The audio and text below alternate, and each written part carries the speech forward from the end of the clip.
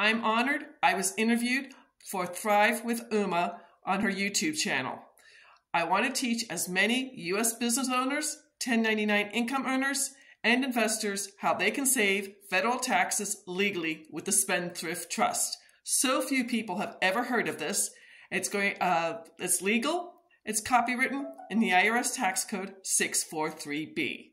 Please watch this YouTube channel. She asks me some great questions, and you too could start saving taxes with either the business trust for 1099 income and state income or the beneficial trust for all investors. You will stop paying short term and long term capital gains, interest income, dividend income, rental income, and royalties. Besides saving federal taxes, you will keep your information 100% private.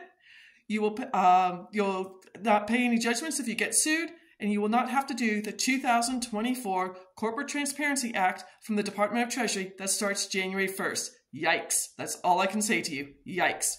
Please watch Thrive with Omu on YouTube, uh, and I appreciate it. Have a beautiful day.